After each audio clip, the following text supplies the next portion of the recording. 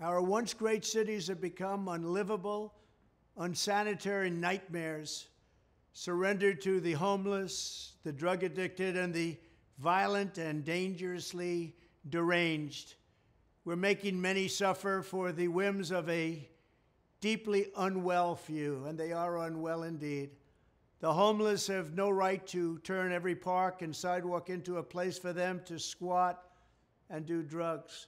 Americans should not have to step over piles of needles and waste as they walk down a street, a beautiful city, or at least once beautiful city, because they've changed so much over the last 10 years.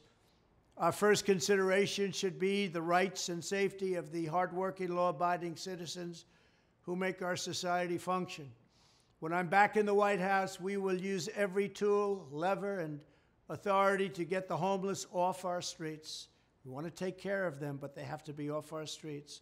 There is nothing compassionate about letting these individuals live in filth and squalor rather than getting them the help that they need. We need professionals to help them. For a small fraction of what we spend upon Ukraine, we could take care of every homeless veteran in America. Our veterans are being treated horribly. Likewise, with all of the money we will save by ending mass unskilled migration, we will have a huge dividend to address this crisis in our own country. Under my strategy, working with states, we will ban urban camping wherever possible. Violators of these bans will be arrested, but they will be given the option to accept treatment and services if they're willing to be rehabilitated. Many of them don't want that, but we'll give them the option.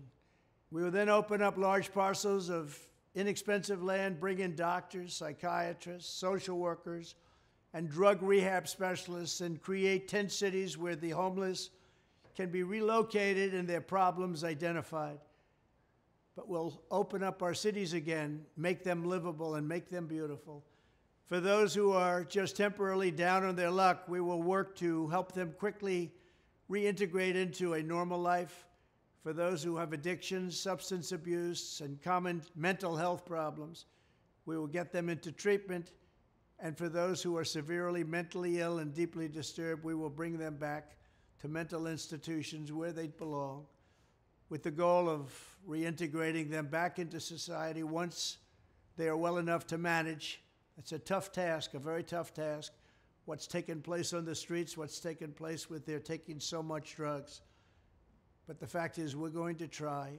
This strategy will be far better and also far less expensive than spending vast sums of taxpayer money to house the homeless in luxury hotels without addressing their underlying issues, and they have so many of these underlying issues and needs.